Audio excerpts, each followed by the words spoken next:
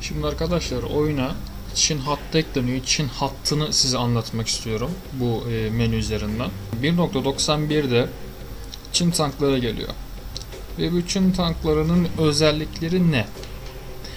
Bunları anlatacağım bugün size. Şimdi hafif tanklardan başlayalım. Arkadaşlar M8 e, oyunda işte Amerikalıların M8'i var ya tekerlekli işte etkinlik tank. Oh yani çok zırhsız. Ama M3 Stuart'la Stuart mı artık nasıl okumuyorsa onunla aynı topa sahip. Type 62 arkadaşlar ne kadar T54 gibi gözükse de bunlar hafif tank. Yani ne demek bu? T54'ün mesela kule zırhı 200 mm ya. Bunda 50 mm olduğunu yani gövdede 30 mm gövdede 50 mm olduğunu varsayın. İşte T54'ün hafif tank versiyonu Type 62. Bu e, ZBD 86 BMP1 bildiğiniz BMP1 oyundaki.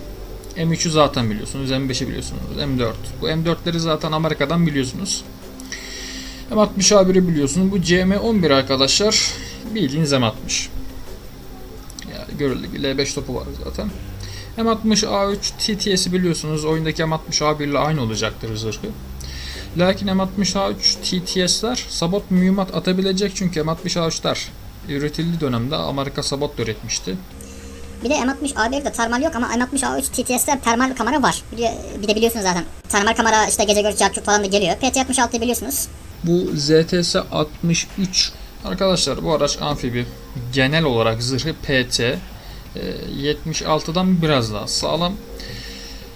Topu e, T54 seviyesinde diyebiliriz arkadaşlar. Tabi hangi mermilerle gelecek bilemiyorum ama işte T54'ün daha büyüğünü, daha zırhsızını onunla benzer topa sahip olduğunu düşünün. İşte bu tank o tank. Bakın hatta burada yüzden versiyonu var. PT76'yı biliyorsunuz. Type 43 olayı ise arkadaşlar PT76 e, gövdesi Type 62 kulesi. Şöyle göstereyim hatta. Şu zımbırtı yani. PT76 gövdesi Type 62 kulesi. Bunun kulesi PT76'nın gövdesi. Özetle bu. Şimdi orta tank ve ağır tanklar diyor burada. T26 ya S2'yi bunları biliyorsunuz. Çiha, Carçuk bunlar zaten bilindik şeyler. Şunları biliyorsunuz komple. Şimdi T34 1943 diyor burada. Şimdi arkadaşlar 43 model T34 aslında bizim oyunda da var. Yani oyuna girmedim. T34'ün 43 modeli var oyunda. Ama premium tank bir de uzun namlulu 57'lik. Şimdi bu 42 model topa sahip. Ama görüldüğü üzere arkadaşlar bunda bir kapula var. Yani 42 model T34'ün kapulalı olan versiyon özetle. T3485, T3485 Gaia arkadaşlar bunlar da DT versiyonuyla normal T3485 gibi düşünün. Bunların zırhı topu cartı curtu oyundaki T34'larla aynı 85 versiyonlarıyla. IS-2, Carçuk bunları biliyorsunuz. Şimdi bu iki tank arkadaşlar T55 ve T54 gibi düşünün. Yani Type 59'u T54 gibi düşünün. Type 69'u ise T55 gibi düşünün. İşte bu tanklar yani bildiğiniz aslında T55 ile zırhı topu falan bunların aynı. Sadece ismi farklı yani. Bir de farları falan farklı bunların. Bir de şu anlarda bagaj da var bunlarda. Ya T55'ten bir farkı yok yani. Şimdi Type 59'un ikinci versiyonu modernizeli versiyona girdiği için arkadaşlar bunlarda L7 topu var. Yani bildiğiniz M68 topu var. işte M60 avçularda olan top var bunlarda. Ama zırhı genel olarak TL5. Yani TL5'e M68 topun taktığını düşün. Özetle o. Şimdi ZTZ 59D1. Bu da ya ZTZ Type'ın Çince'deki diğer açılım aslında. Arkadaşlar bu ee, daha demin anlattığım şu tankın Type 59'un ikinci versiyonunun Eralısı yani genel pasif zırhı komple T54 ile aynı lakin 105 mm'lik L7 topu takılı ve reaktif zırhı var. Type 79 ise yine arkadaşlar aslında T55 temelli bir tank. Şu işte bu. Yani zırhı, cartı, curtu TL5 arkadaşlar bu TL5 gövdesini falan Çinliler çok kullandı ve bayağı uzun süre kullandı. Ama gördüğüm kadarıyla burada Type 96 falan yok. Type 96'lardan sonra aslında Çinliler gerçek tanklarına kavuşuyor. Mesela şunlar arkadaşlar. Bunlar Type 96 değil ki ama. Birisi A versiyonu, birisi B versiyonu. Şimdi Type 99 pardon Type 96 farklı, Type 99A farklı, B farklı. Ve bayağı bir farklı yani. İşte Type 96 özetle bu. Yani yine gövdesi TL5 andırıyor görüldüğü gibi ama e, TL5'lerden çok farklı. Ama Type 96 gözlemlediğim kadarıyla hatta yok. Ve eklemeyi düşünmüyorlar.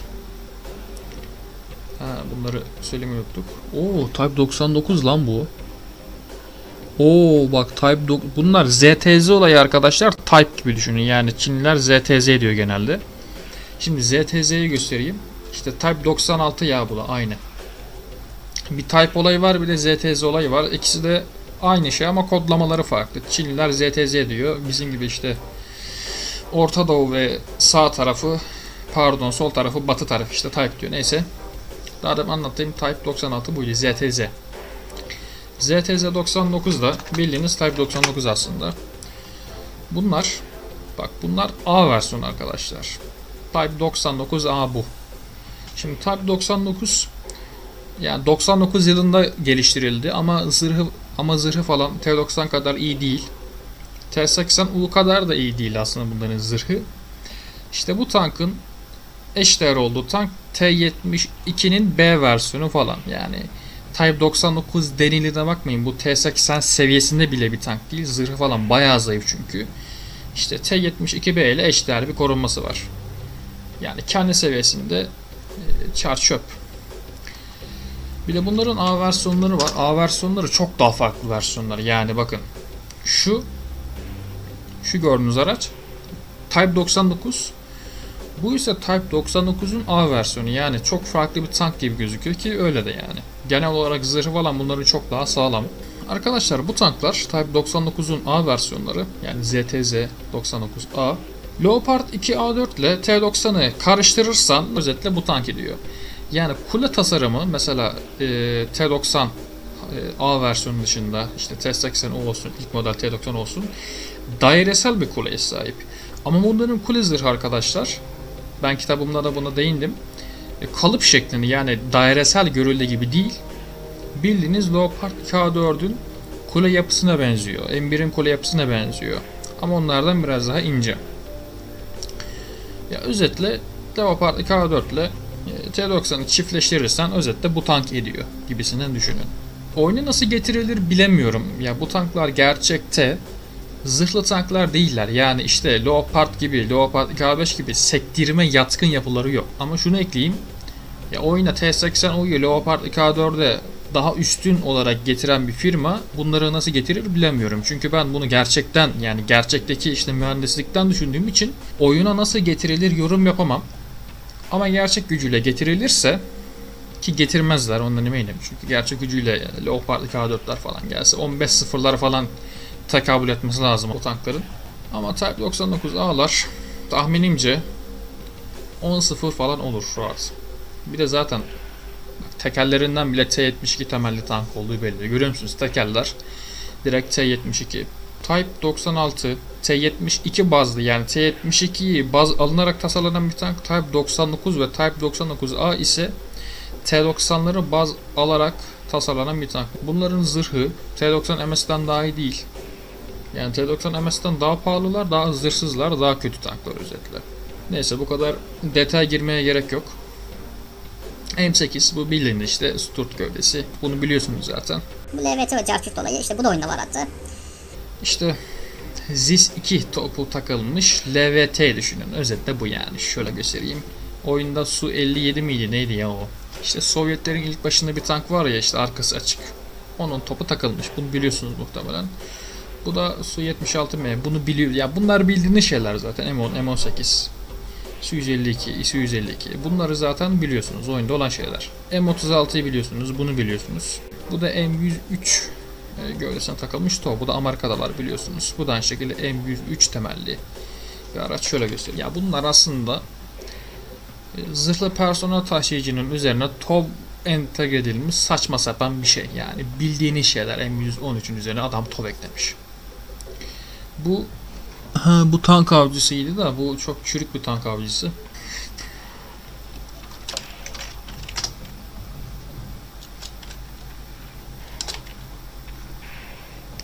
Şimdi arkadaşlar bu tank şu yani şuradaki gördüğünüz tank bu. Bakın bunda ZT pardon lan PTZ olarak kodlanmış. Şimdi arkadaşlar bu tanklar şey gibi düşünün ya. Hani oyunda obje 120 taran var ya işte iyi toplu ama çok zırhsız. Onun biraz daha Selamünaleyküm. Mustafa yeni mikrofon aldın herhalde. Yok yine yani bilgisayardan mı galiba e, ne derim ona internet iyi çekiyor. Şüpheliyor musun?